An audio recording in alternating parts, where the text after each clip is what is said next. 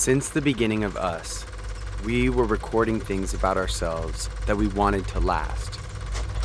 Cave paintings turned to alphabets, alphabets to sentences, and soon sentences became memoirs.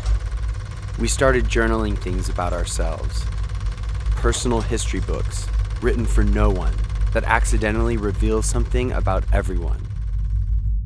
I remember the first time I opened up Dan Eldon's journals. They were funny and clever and fun. They were profound, political, thought provoking, inspiring, sexy, sometimes dark and somber, but always adventurous. And after looking through the pages, I remember the feeling that somehow I would never be the same. And I wasn't.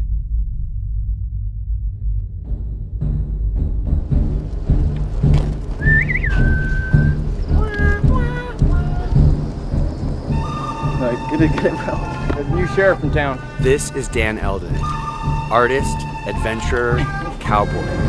We're gonna be flying in the air below 4,000 feet to avoid radar detection. Dan has always seen things others could not see. He was just born with a vision. Well, that was another harrowing Black Ops mission, successfully completed. This is Dan Eldon, Kitengela. Turn that bloody thing off. I'll see you in court. Alright. See you. Dan grew up in Nairobi, Kenya, and from a very young age, his mother, Kathy, encouraged him to keep journals and take photographs. As a teenager, he spent his days exploring the world around him in his beat up Land Rover, which he named Desiree. He learned on the road rather than by the book. He journaled that with Des, the destination didn't matter. The pleasure was simply in going.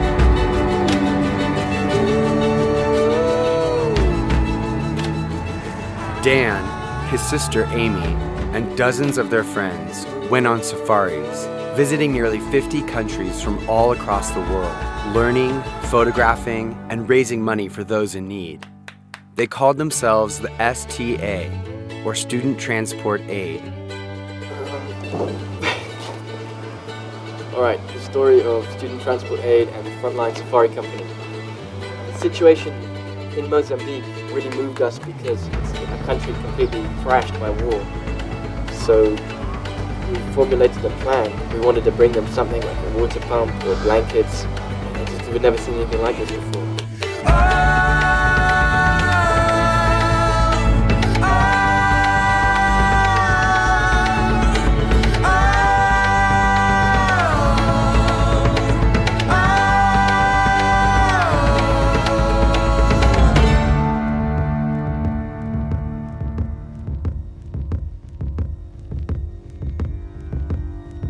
And with his camera, he began traveling to war zones to document and bring life to unfamiliar conflicts.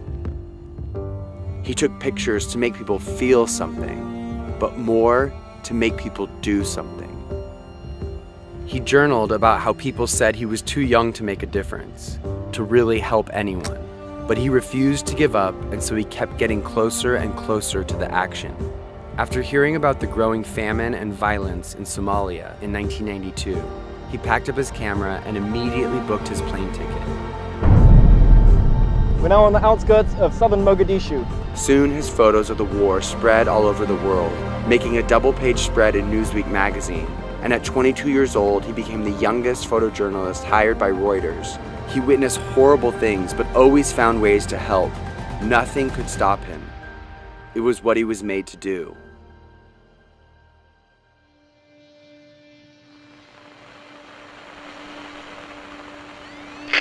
Tragedy struck today in Somalia after a military operation was launched on what was believed to be a safe house where Somali warlord Mohammed Aidid was hiding in Mogadishu. The operation went horribly wrong.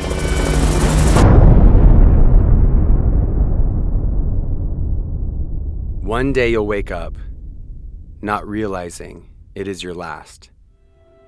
July 12th, 1993, was that day for Dan. Survivors from the operation gathered journalists from a nearby hotel to take pictures of the destruction. A mob, angry at what had happened, attacked the journalists.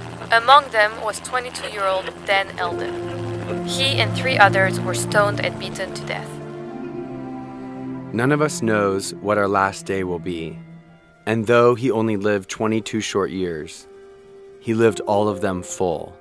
Dan Eldon believed that the journey is the destination. And though he is physically gone, that journey continues. Since the beginning of us, we were recording things about ourselves that we wanted to last. And after two decades, Dan Eldon's journals, published by his mother and his sister, continue to challenge and change minds. He has and continues to inspire hundreds of thousands of people around the world. And I am just one of them. There would be no invisible children, and you or I would not be in this auditorium today were it not for him. This summer marks the 20th anniversary of his death, but also of the legacy of his life. Fourth Estate proudly welcomes Dan's mother Kathy and his sister Amy.